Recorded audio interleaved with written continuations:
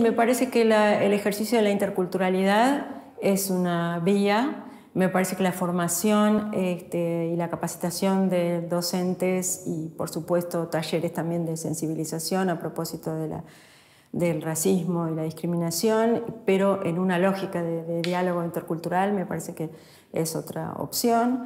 Me parece que también reformular quizás algunas currículas introduciendo eh, las reflexiones sobre esta temática y por supuesto también todo lo que sean aportes desde la investigación en, el espacio académico a propósito de los alcances de las, del racismo y la discriminación, digamos, son, son, son ejes que están presentes este, a veces hasta en las bibliografías eh, eh, de materias y entonces hay que hacer, diría yo, algo así como una búsqueda a propósito de cómo viene siendo tratado eh, el tema. La construcción de redes, por ejemplo, también, en la que se intercambien eh, acciones o estrategias, eh, y la difusión también de actividades, eventos a propósito de sensibilización en los temas de la erradicación del racismo y la discriminación. Me parece que son, digamos, es, es apostar a, a, diversas estrategias, ¿no? que entre todas probablemente nos ayuden a,